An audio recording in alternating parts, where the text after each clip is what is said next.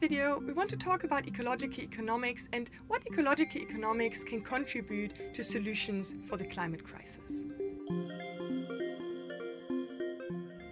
Ecological economists consider the economy embedded in the large systems of society and the biosphere, and try to develop ideas of how to build a system that is ecologically sustainable. The goal of ecological economics is to understand how we could achieve an economy that is within environmental limits and does not lead society to collapse through the, the lack of consideration of our interaction with the environment. A first important feature of ecological economics is the assumption of planetary boundaries that becomes evident when taking into account the laws of thermodynamics. The laws of thermodynamics imply that our economy is a subsystem where material and energy resources can't be produced out of thin air, but are only converted. Before producing goods, resources have to be taken from the environment. For example, batteries require material and energy to work.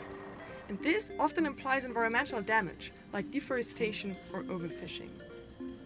After being used, products do not simply disappear, but either have to be recycled or turn into waste. So we characterize the economy not in terms of GDP or in terms of prices only, but we look at uh, the kilos of materials that enter the economy, the joules of energy that are entering the economy, the pollutants and the waste that exit. So it's a different metric system. Ecological economics analyzes the interaction between economy and the environment. For example, they develop models which take into account these aspects like planetary boundaries. Thereby, ecological economics recognizes that our knowledge about future natural and social systems is very uncertain. For example, we cannot say exactly who will suffer from the climate crisis in which moment. That's why they argue for the precautionary principle. The precautionary principle emphasizes the need to minimize the risk of potentially disastrous actions. The approach of ecological economics is based on a system perspective, looking at ecological and economic processes from the perspective of systems and less from the perspective of individuals.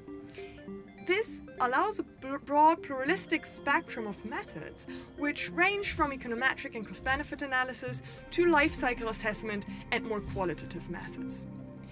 Now, the choice of methods depends on the context and the research question.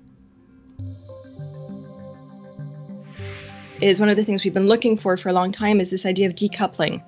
And is it possible to maintain that growth while decreasing environmental impacts? One of the things we're seeing is that not only is decoupling not happening, but at point we're really able to allocate responsibility for environmental pressures and environmental impacts on economic growth and more particularly on affluence itself. So not only is it are these processes of damage really driven by economic growth, it's the affluent within each economy that are doing the most driving. And that's, I think, a really important insight.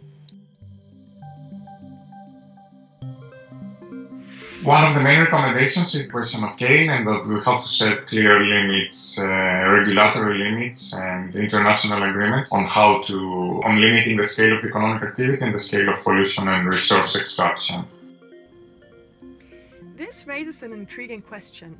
What does a system look like that does not rely on growth? As part of ecological economics, the degrowth movement proposes a number of changes.